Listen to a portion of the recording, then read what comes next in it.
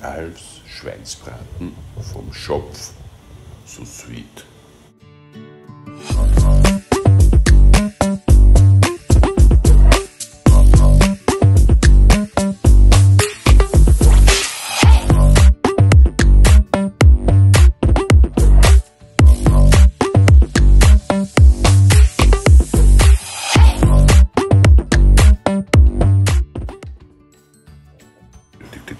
Zutaten für vier bis sechs Portionen sind.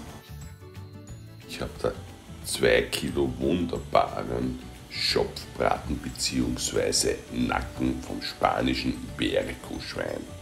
Zum Würzen benötigen wir Kümmel, grobes Meersalz, geschrotteter Pfeffer, als Knoblauchpaste, Senfkörner und etwas Oregano. Die Gewürze werden gut vermischt und etwas geschrottet. Ich fange mal mit eineinhalb Löffeln Salz an, ein schwacher Löffel der bunte geschrotete Pfeffer, ein halber Löffel Senfkörner, ein Löffel Kümmel und etwas vom getrockneten Oregano. Alles gut vermischen und schon etwas zerdrücken. Jetzt kommt noch ein guter Löffel als Knoblauchpaste dazu, das entspricht ungefähr 5 Knoblauchzehen. Wieder gut vermischen und etwas zerdrücken. Dass unsere Gewürzmischung etwas sämiger wird, kann man optional etwas Olivenöl dazugeben. Wieder gut vermischen und zerdrücken.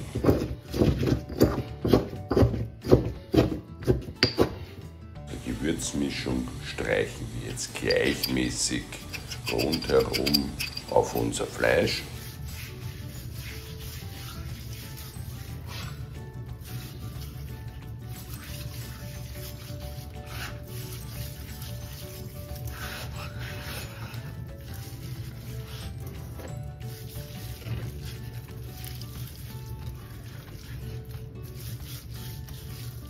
So kommt das Ganze jetzt in den Vakuumbeutel. Ist dieser groß, schneiden wir ihn etwas zurecht. Vakuumieren. Bei 76 Grad 11 Stunden ziehen lassen.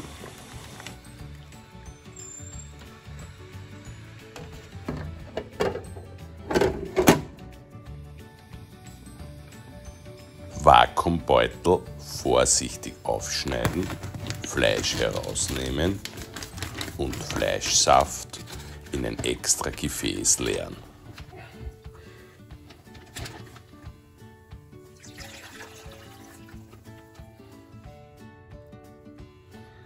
Das Fleisch in die Bratenpfanne legen, den Boden der Bratenpfanne mit 1 cm Fleischsaft auffüllen.